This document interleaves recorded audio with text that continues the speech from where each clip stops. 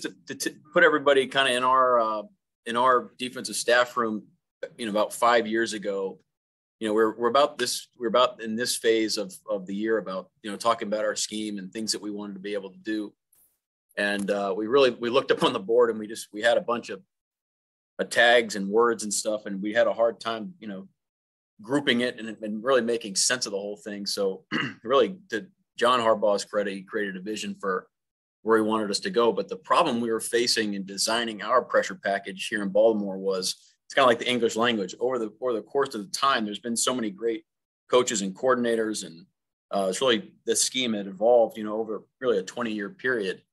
And uh, we had a lot of words that kind of meant one thing and didn't really connect to other things. So we wanted to streamline it. So really, our our our problem that we had was, hey, we got too much memorization here. We have too many too many types of pressures that really should be grouped together. And, um, you know, we felt like every week it was just too much memorization on the guys, especially rookies, you know, new guys to the system, that sort of thing.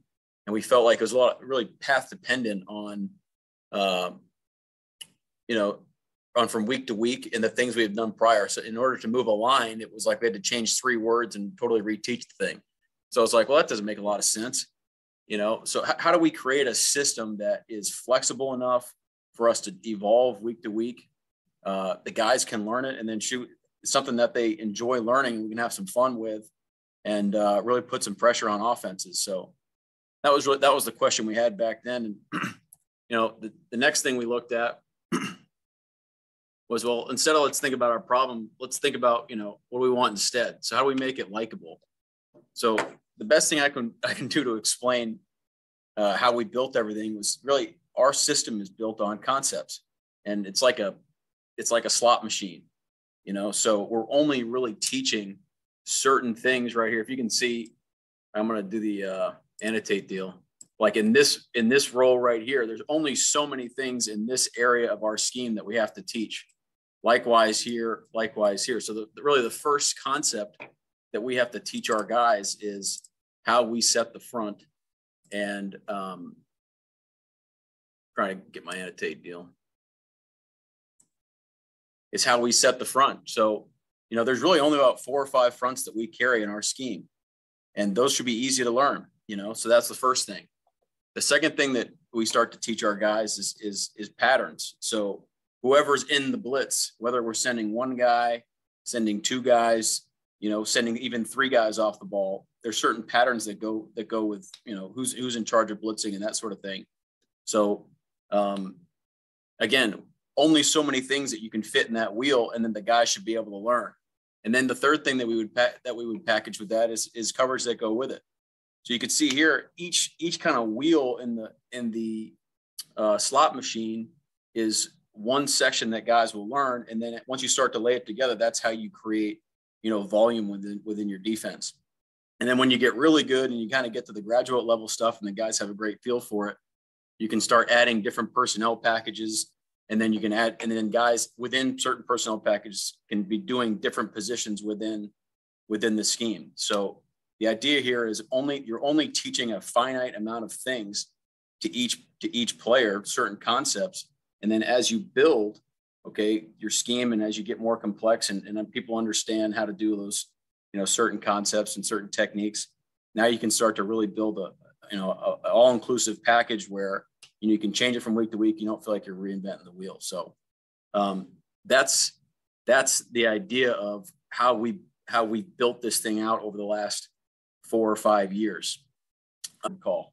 All right? And that's pretty common throughout throughout systems but as you want to start to add sauce to what you do and, and to kind of make it like kind of sweeter, you know, per se, is um, we want to add some sauce to it, but we don't want to add a lot of verbiage.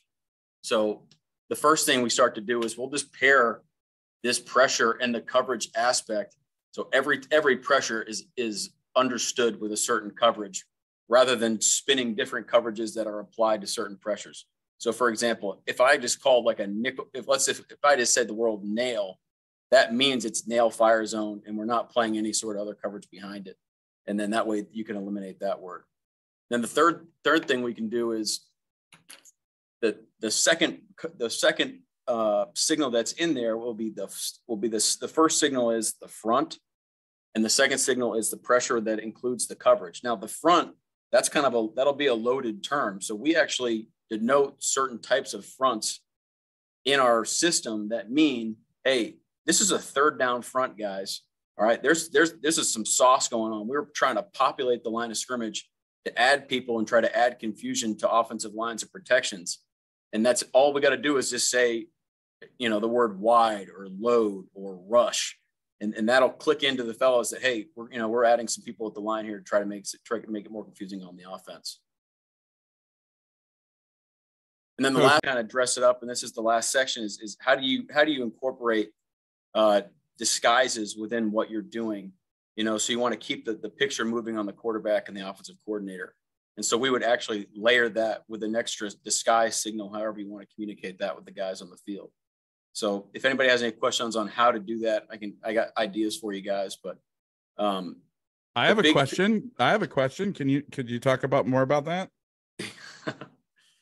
Well, so the disguising or the uh, signaling is a dang art in college now because there's so much, there's so much uh, sign stealing and all this. So whatever your system is, I would include that in in um, in how you get that signal to the guys. So you can be as creative as you want. Uh, could be something that people weren't expecting on the sideline. It could be a manager, uh, the guy that stands right next to you, and you can give him the signal as well. And then guys in the back end, they're they're the only ones that have to look at it and worry about that signal. Where the, the guys up front, they don't care what you know disguise you're doing in the back end.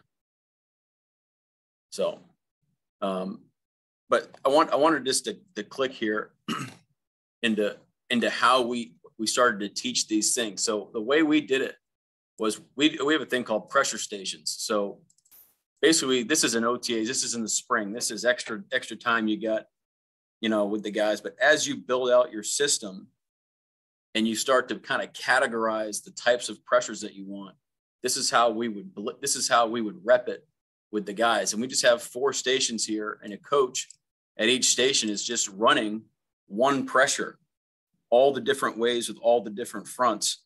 And you're applying and you're talking to the guys and you're going really slow about hey what, what are we doing here? And then how are we what's everybody's rules and then as you do get good at the drill and you start and you start guys getting a good feel for the your pressures that you're doing then you can start to layer it with more with more fronts you can start to change guys positions and everyone starts to understand okay when we just say the word i don't know brady Favre, whatever your one word call is, and people understand what they're doing. Now you can understand, everyone knows what all the X's are doing. And now, and now you become more interchangeable as time goes on. So um, we can watch some of these here, but it, and it's really simple. It's a, it's a, it's a however long minute period, but you like down here, we're built, I'm giving them a front right now. I'm giving them a call. They got to get lined up to the formation. All right. Normally we'd have some sort of like dots here to indicate some sort of formation or some sort of motion. And you can get more complicated as you go and build it over time and make sure the guys are good on communication. And then, and then everybody understands what they're doing. So like right here, you know, we're making sure that everyone's applying their pressure rule based on the front and what we're calling. And then you can coach them up on the fly right there. And, and you're getting a ton of easy, cheap reps on the whole defense and everybody's getting reps and uh, you can build that out over time. Um,